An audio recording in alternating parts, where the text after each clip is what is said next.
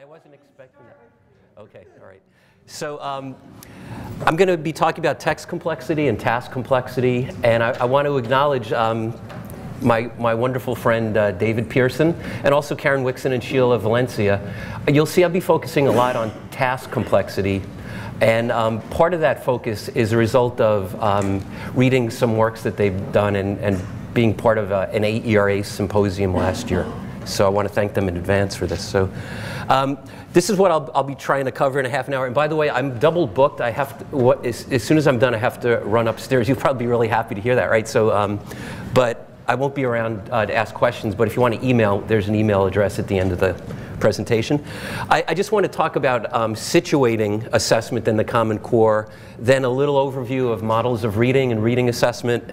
Uh, then I'm going to focus on a particular Common Core standard um, and, and look at the complexity of the tasks that are related to this uh, standard, and then talk about why I think formative assessment has to be front and center if we're um, to be anywhere near successful in helping kids meet or exceed the Common Core state standards. Right. So I, I think about assessment as, as like a whole bunch of social things that we do um, with a lot of different economic, political, social forces acting. So I just want to share where, I, uh, where I'm coming from. I think David mentioned this this morning, like a curriculum and assessment dance and who's leading. And, and all of us in this room would probably say that too often assessment has led, and it's probably a better idea to think about assessment and curriculum development simultaneously. They can both inform each other in good ways. Um, you may have heard this. I know that over the last two years, every school that I've visited uh, has been marked by anxiety, uh, maybe a little bit of frustration with the idea that uh, the formative assessments that I'm so um, behind have to match up with the things that are being created by PARCC and that other consortium. It sounds like a high fiber cereal, uh, Smarter Balance, right? Okay, so, um, and what I've heard is, well, it's like we're building a plane while we're flying. I, well, I don't want to be on that plane, but apparently we all have to be on that plane.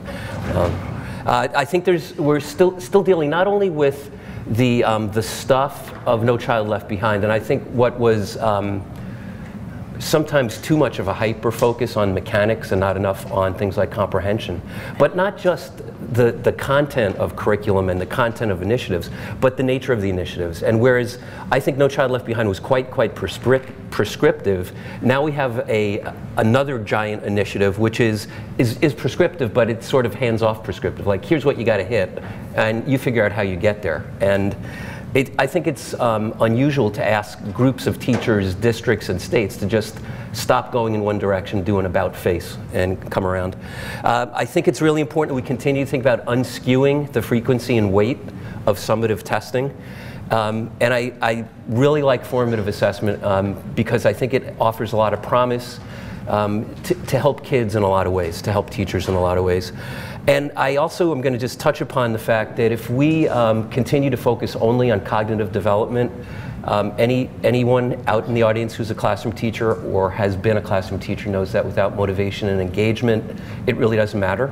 Um, if students are not with you, then they will, um, they won't be with you. And then finally, um, the, the group I worry most about with the Common Core, um, having worked with NAEP for about 15 years, is the, the kids who are at the bottom of the achievement gap. And, and if you think about how many millions of kids fail to meet even a basic level of reading, according to the NAEP, um, what the Common Core offers to me is a raising of the bar. Um, and so how those kids will ever get there seems to be something that we really need to focus on right? So um, th these are things, my daughter's needlepoint, these are over our fireplace in, in the house. Um, how well we know assessment should be reflected in how well we assess, and how well we know reading should be apparent in how well we assess reading. I'm not sure that that's been the case. David gave us a little bit of history this morning about why it might not be the case. Um, an example here would be um, my daughter came home, one of my daughters, with the top item as an example of our brand new, wonderful Maryland State Assessment in Reading back in 2006. She was in fourth grade, and uh, that, uh, that didn't seem to me to be, most of the items in this brochure were like this. It's not that I'm picking out one to pick on, but um, if you look at 1966, when I was in fourth grade in PS 33 in Queens, New York, um, you don't see much difference there. And, and formative assessment and the performance assessments that SBAC and PARCC are developing I really, really like a quantum leap forward, which, which I think is a good thing if we're up to the task of helping kids prepare to do those tasks. Right, and then models of reading and reading assessment. So back in 2009, you know, NAEP about every 10 or 12 years uh, gets groups of people together and asks them to sit down and come up with a definition of reading. And the definition of reading that was come up with in 2009, I think had a, uh, a really, really radical change in the idea what, about what reading is. And it's the, the bullet that's highlighted there. And, and the idea that reading is not just about the construction of meaning, but that reading is about constructing meaning and then applying the meaning that you've constructed, that, that's, that's a watershed event, I think, both from uh, models of reading and an implications for reading assessment perspective, right? And I think the Common Core really, really nails that. I mean, the Common Core is about understanding what you read, but it's also about applying what you've learned in increasingly complex tasks and texts. All right. Um, I don't mean to imply a hierarchy here, but I think that these are really important alignments that should be uh, existing in our schooling systems. And the, uh, the idea is that the construct of reading, what, what is the amassed understanding of what reading is? What, is, what are all the research results? What are experienced teachers and their insights into what reading is? How are they um, telling us what we should focus on when we do something like create the Common Core standards. And if you read the Common Core standards, you might say, I would, that not all of what we know about reading got paid attention to, right? Unfortunately. Um, but nevertheless, the Common Core standards do derive from some aspects of what we know about the construct of reading. And then um, well, I guess given the systems that we work in, it's really important that the curriculum and instruction related to reading maps back up to the Common Core state standards. Otherwise, there's going to be all sorts of problems when the last part of this alignment comes into play, which is reading assessment. If, if your curriculum and instructions misaligned with the Common Core, but the assessment's aligned with the Common Core, um, you may end up looking not so good. In, in, any type of assessment that's done. Another way of looking at, at, this is that if you draw a line straight from reading assessment to the construct of reading, that's part of how we would explain construct validity in an assessment. Right. And then uh, a wonderful book that came out in 2001. It's called Knowing What Students Know by Pellegrino, Chudowsky, and Glaser. Um, I, I, love this little model that they came up with. It's sort very parsimonious and I think has high explanatory value. If you look at the top of the triangle, um, what these authors claim is that if we, we are really good at defining and describing in detail the thing that we want to assess, that's the, the most important first step in developing a good assessment. And after we've done that, and, and we've consulted all uh, legitimate knowledge to make that determination. Then we go down to the left-hand corner, and that's where we start building our assessments of the thing or the construct that we're interested in measuring. And that dialogue between the construct and assessment is, I think, part of what's um, going on with PARCC and SBAC right now. It's a, what what are these things that the Common Core wants students to be able to do? And how would we possibly measure these things? And I think that helps explain why for the last 12 months when people have gone to these websites, there hasn't been that much new product on the websites of PARCC and SBAC, but a promise of product, product soon right? And then if we go from the bottom left to the bottom right corner, th this, is, um, this is assessment 101. You know that we assess um, so that we can make inferences about students based on samples of their behavior. And, and so if we get to the bottom right and we've done a really good job in the bottom left and a really good job on the top angle of this triangle, then we can probably have high confidence in the inferences that we make about students. And that would be inferences about what does the student need next in terms of my instruction? Does the student need to repeat a lesson? Do we need to move the student for some special consideration instructionally? Things like that. Now, if you look at uh, the task up there, it's what does it mean to summarize a challenging history text? And in the Common Core, um, just in terms of complexity, you might see a change to something like this. What's it mean to summarize a challenging history text? Then critically compare three text summaries for information, accuracy, and trustworthiness. Right, so that that complexifies the construct. and complexifies the assessments that we have to build related to it. And you probably all read this, um, just some of the uh, blurb from the front matter of the Common Core.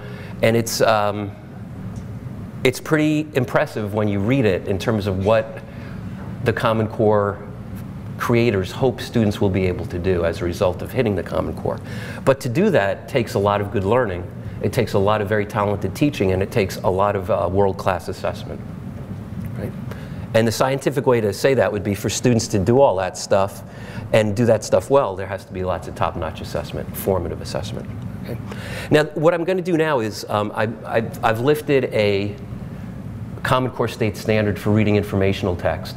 And I'm going to give you a text and a picture because that's part of what the standard focuses on. And I've really, really toned down um, the, the text complexity so that we can focus on task complexity. So here, here's, uh, here's the standard. Right, explain how specific images, a diagram showing how a machine works, for example, contribute to and clarify a text. So that's one of the standards under the category of informational text, integration of knowledge and ideas. All right, so here's, um, Here's the text. You might be able to tell that I wrote that text. Um, and for those of you who like bridges, that's the Tyne River in Newcastle, UK. Any of you drink Newcastle Brown Ale, you can see one of those bridges on the label of, of the beer, okay? just in case you're, you were wondering, right? So I would say that that's a very simple text. On a text complexity staircase, it would be like maybe sub-basement, I'm not sure, it would be low, right? Um, and but, but if you step back and, and do a task analysis of what a student trying to meet that standard has to do, and you know, task analyses are these invaluable things where you just try to imagine what it's like for a student to walk through an assessment and come out okay. Um, this is what happens. To demonstrate achievement in a, in a performance assessment related to that standard, um, the student would have to construct meaning from the text, um, would have to comprehend a related image, um, the student would have to compare the two related understandings, analyze the two for their separate and joint contributions to understanding, explain through writing or speaking how the two comprehended parts relate to one another, describe how the image helps comprehension, and I'm just guessing, be really, really metacognitive to be able to coordinate all of those things. A little bit later, I'll focus on metacognition because I think that's something that's very under um, appreciated and not so often taught for students. Okay, so um, again, I, I really dumbed down the text so we could focus on task complexity here. That's a second grade standard, right? And, and I think that that's, um, that's part of our challenge, right? So, so if, if those are the things that a student must do to hit a second grade standard, then, then I think we get in a better position to think about the types of assessment that have to happen, first of all, to see if a student gets to those performances, but also um, what kind of formative assessment we would have to be doing to help move the student too. Because as, as David said this morning, it's, it's really about orchestrating separate things into a grand performance. And those six or seven strands or demands on a kid have to, have to be orchestrated so that the kid can pull off the, the item in a way that says you, are successful at this Common Core standard. And so here, here's where I think we really get um, to the, the value of formative assessment, right? So each of those facets has to be a necessary focus of a formative assessment. How would a child uh, learn to reason uh, with information from a picture and information from a text without us teaching them? And then how would we know how well they're learning unless we're doing assessment along the way? So, I, and I think that's an important question. Could you imagine a kid who doesn't really, imagine maybe one of those kids who right now doesn't hit basic in NAEP fourth grade reading. Um, could you imagine that child taking on that task and succeeding without massive expert formative assessment? So now I want to move from that Common Core example to what I, what I think is promising about formative assessment, but also what's pretty daunting about it, all right? So um, here's, here's some, I think, generally held beliefs and um, understandings about formative assessment. It's usually uh, considered to be a fluid, dynamic, ongoing process. Um, and the teacher positions herself or himself to get fresh information as often as possible. And if, if you're a, a fan of Kintsch or uh, any like construction of meaning models, I think the idea of building a mental model of text um, transplants pretty well to, to building a mental model of our students. And we have to continually update that model so that we can best adjust our instruction, best, best uh, refine our understanding of the student. Okay? Right? And it's conducted in the midst of teaching and learning, uh, and the information enables teachers to continually update stu student understanding. It directly informs teaching and learning. It should con contribute to students' reading growth. And it's prominent in successful schools, uh, classrooms, and districts. Right? So you might, I'm not a math person, so this is the extent of my math ability. but um, what I'm trying to present here is that we, I, I think the summative assessments are you know, they continue to just be so powerful and so um, resource demanding. And, and so what we need to do is think about the summative assessments are going to stay as powerful as they have been, but I think they're going to get better, I, and I think we should all be happy about that. But we also have to think about uh, what kind of path of formative assessment points eh, or leads in the exact direction of the summative assessment. And if we take care of these formative assessments along the way, it's, it's in, in one sense, it's teaching to the test. But, but the assessment or test is a much better thing to teach to than what we've been used to teaching to, right? And, and, and also, I'd want this slide to help hopefully represent the planning that has to be done from a, an assessment and curriculum perspective. So it's not scattershot, but it's a very, um, it's a very thoughtful um, and well-paced movement towards a uh, summative assessment. And I, I this is the other thing that's needle pointed over the fireplace. I, and I really believe this that if we start believing that accountability is created by doing formative assessment and teaching well all the time. Um, and then make sure that people understand that accountability is measured or accountability is judged by high stakes test, but it's created by good teaching and good assessment on a daily basis. All right, and now um, I want to share, I have, this is one of my two favorite um, soccer players in the world here, and this is a non-Common Core um, example. All right, so this is my older daughter who it, she's played soccer forever, I think. And this picture is not brand new. She's uh, was the captain of her soccer team in high school for three years, and she was on a travel team. And on her travel team, she worked with a guy named Malcolm, who is the best coach I've ever had the uh, honor of watching coach. And Malcolm is about 70. He grew up in the UK and knows soccer inside and out. And I would stand at practices on the, on the sideline. I'd try to figure out what he was doing to figure out how each of the 18 young ladies on his team were progressing or if they weren't. And then, and then how he adjusted his, his training, his one-on-ones or small group or whole group um, practices to, to the needs of each of the uh, students or athletes. And he, when I asked him, he, he reeled off this list on the left-hand side of the slide. He, he didn't have it written down. He just, he had it memorized, right? And um, I think that part of what has to happen for us to be really good at formative assessment in the classroom is that we have to get these very well-developed schema about the things that we're looking for, how they fit with our teaching, and how they exist or don't exist within each of the students in our classroom. That is, that is a gargantuan task, but it, it's the one that we must re really try our best at if we get all of our students towards the Common Core. So he's, he's looking at each of these uh, students or athletes as they're running up and down the field. And if you're a fan of football or soccer, then, you know, like any, any sport where resilience and creativity are, are things that you look for, you know that's why it's called the beautiful game, right? He said, if I take care of the stuff, stuff on the left-hand side, the stuff on the right-hand side takes care of itself. And, and that's, I, I believe that about formative assessment and its relation to summative assessment, that when you are good on a daily basis, your students cannot help but do well in the assessment that they get at the end of the year. Right? So if we um, transfer that to, oh, and so I don't know what the implications are about Malcolm. He's 70, so I, I don't think I would want to suggest that all teachers have to be 70, but, but I think that it's that over the years, could you imagine a professional development? Well, you're like 46, so could you sit in a room for 24 years and then we'll come and get you, and then you'll be really good at formative assessment. But it's, um, it's about it's about that instantly accessible expert knowledge about what it means in, to be a soccer player, what it means to be a developing reader, and, and then being able to connect that to the instruction that we're in the midst of and the curriculum that we're in the, in the midst of. It's, it's quite a, a set of tasks. Right.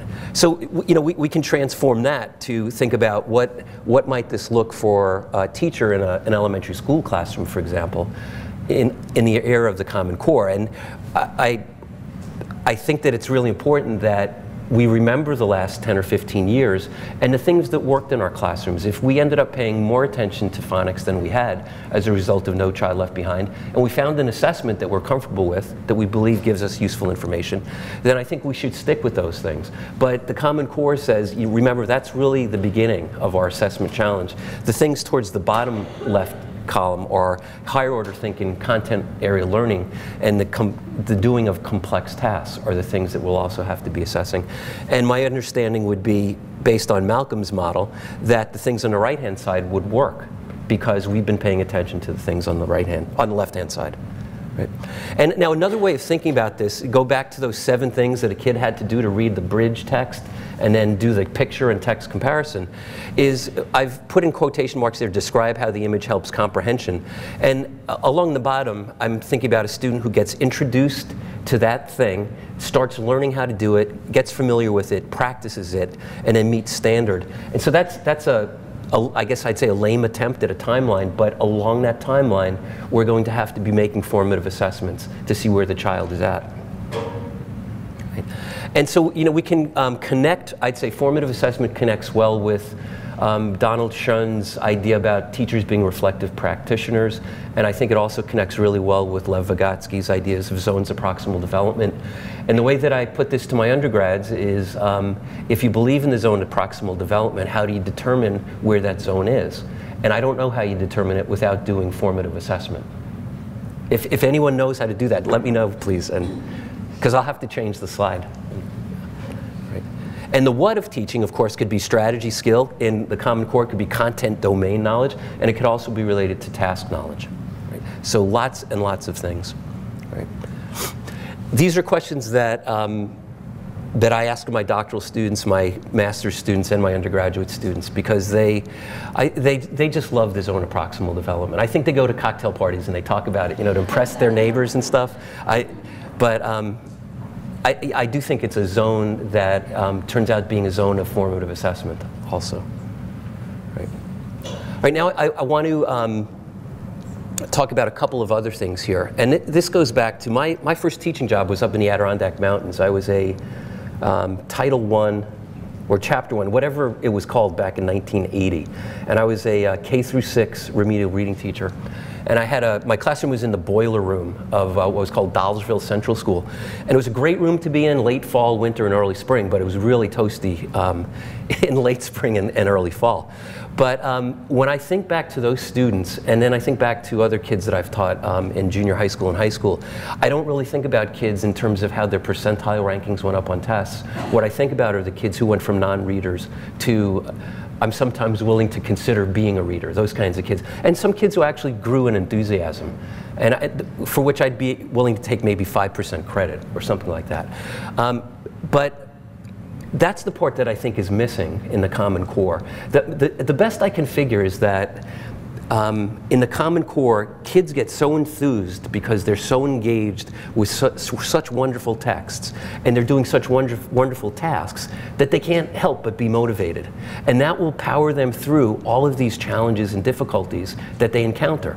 And I'm guessing that this holds true for all those kids who can't even hit basic because otherwise I don't know how those kids get through to the standards and the, and the fact that we're not really paying attention to um, things like motivation and engagement on a wholesale level is, is frightening to me because that's where I think we're really building a research corpus that informs, um, well, that says it's important enough to pay attention to, and this is how we might start paying attention to it, right?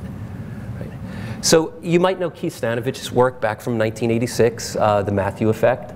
And in, in this wonderful, wonderful article, it was in Re Reading Research Quarterly, um, Keith looked at studies to try to um, come up with an explanation of why early success for early elementary school readers tended to beget success. And you sort of get a kid as a snowball rolling down a hill, getting faster, bigger, more powerful as a reader. And what, what he found was um, early reading success lets kids, um, you know, they're breaking the code, they're getting new vocabulary words. The new vocabulary words give them new knowledge. That builds onto more access to more and more texts, which you'd expect. But I think the, the, the other story about the Matthew effect is that children are human beings, and when they experience success, they go back to it, like most of us do. It makes us happy, it, it makes us feel good about ourselves.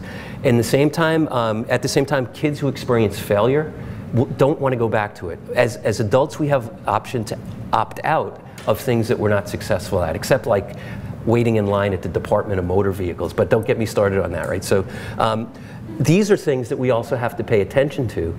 And, and we need to think about how assessment may figure and how we boost kids' self-efficacy in a, in a real, um, a real way, not a, not a fake sort of shoring up false self-esteem.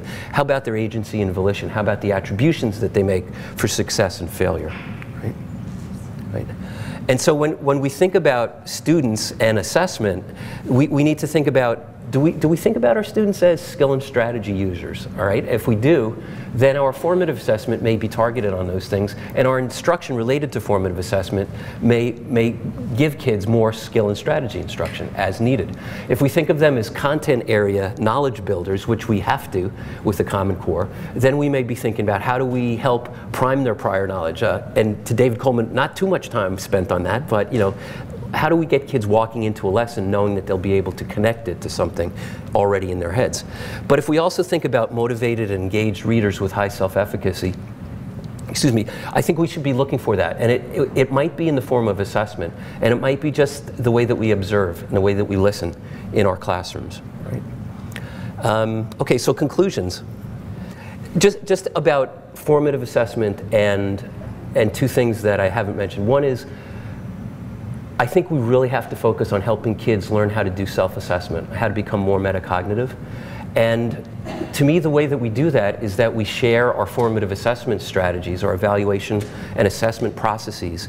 We uncover them, and as their strategies, they may be amenable to thinking aloud, to um, modeling and explanation, so that when children start getting questions like, you know, these early comprehension monitoring questions like, does that make sense? How do you know? Is there a problem? Where's the problem? Can you fix the problem? Can you get back on track?